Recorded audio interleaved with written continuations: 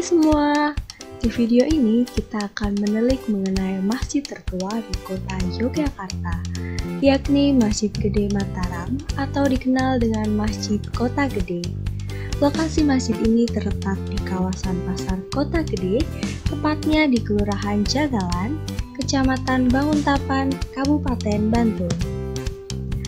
Kurang lebih sekitar 7 km arah tenggara dari titik nol pusat kota Yogyakarta.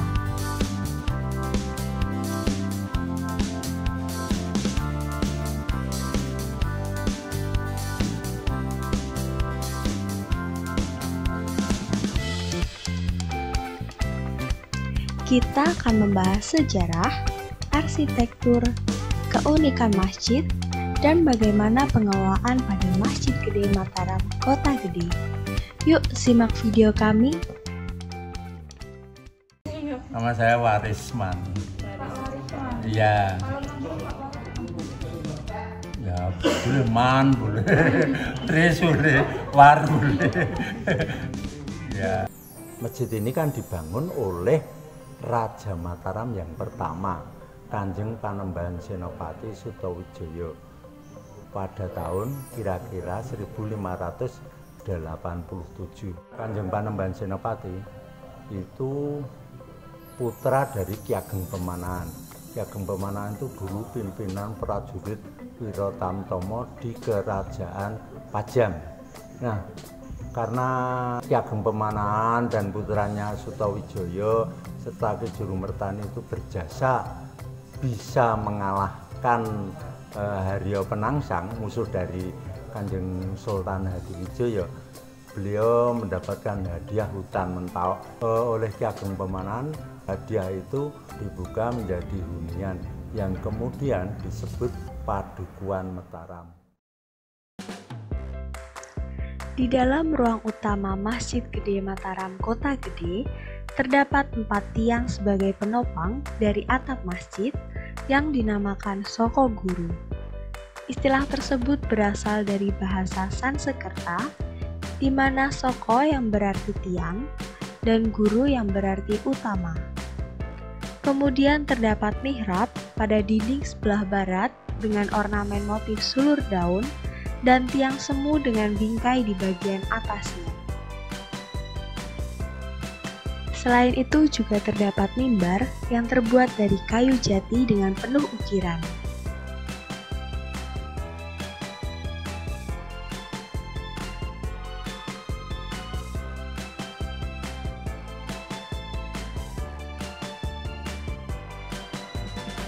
Yang ini. Ada delapan, tidak bisa ditambah dan dikurangi. Ketika masjid ini sudah dibangun oleh Kanjeng Panembahan Senopati kebetulan eh, Kanjeng Panembahan Adilangu atau Sunan Kalijogo yang kedua itu kalau dakwah mengembara tidak mendirikan pesantren satu tempat itu enggak kamu muter-muter. Nah ketika sampai di eh, Kulon Progo beliau melihat pohon yang besar pohon bayam katanya. Tapi bayam hutan bukan bayam sayur. Kalau diambil dalamnya kemudian kulitnya itu bisa untuk kerangka hidup. Masjid ini milik atau milik keraton dan eh, apa pengelolaannya oleh dinas kebudayaan kami hanya tugasnya memakmurkan saja. Jadi perluasan perbaikan rehab dan lain sebagainya itu pihak keraton dan pihak disebut kami hanya yang kecil-kecil misalnya kerannya patah ganti. Terus apa mungkin jembatannya itu ada yang amblong ganti. Nah itu kami yang skala kecil-kecil saja ibadah itu ada satu harian mingguan tahunan terus kemudian ibadah sunat harian sholat lima waktu, mingguan sholat Jumat, tahunan Idul Adha dan Idul Fitri. Kalau yang sunnah itu misalnya gerhana bulan, gerhana matahari, kalau bulan Ramadan taraweh. Nah, inilah ibadah yang diadakan oleh kami.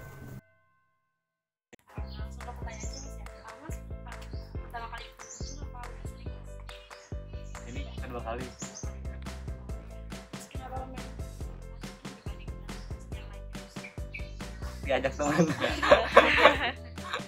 karena itu arsitekturnya bagus atau estetik gitu. Ya bisa terus uh, dapat info dari mana kalau ada berada di sini itu teman dari media sosial iya ada teman ya cuma gitu doang aja. Iya. alasan